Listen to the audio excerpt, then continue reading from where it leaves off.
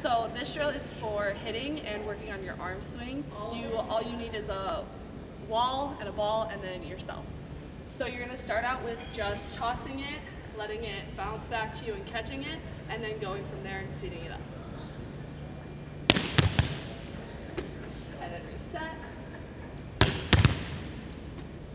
So after you do 10 of the swing, catch, reset, toss again, after you do 10 of those, you can move on to um, a rhythm and keeping the ball alive, continuous, like so.